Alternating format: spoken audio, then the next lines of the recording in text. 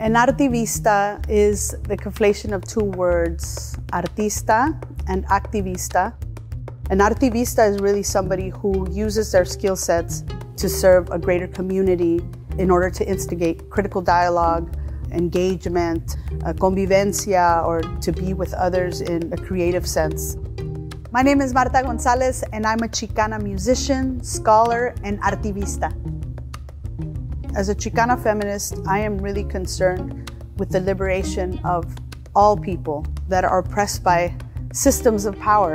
And as a musician, I'm bringing my skill sets in order to have communities dissect these systems of power through music and music dialogue. Quetzal as a tool, as a band, has always been really committed to not just representing the different issues in our community as people, as Chicanos, but also holding a mirror up to our communities and the beauty that we have, the power, you know, our dreams about the future. I teach Fandango in the community. Fandango is a participatory music and dance practice native to the state of Veracruz, rooted in three cultures, the indigenous culture of the region. There's also African influences and Andalusian Spanish influences. Fandango Sin Fronteras as a transnational relationship has proliferated so many different projects.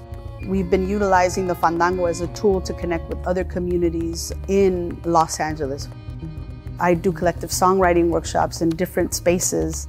And then in academia, I talk about music, I write about music and the liberatory nature of what music can be. Music has always been a part of my life in these ways that I feel in my heart and in my intellect and in my body. And I try to share them in all these different spaces and always with the sense of commitment to my community and the lifelong struggle in social justice.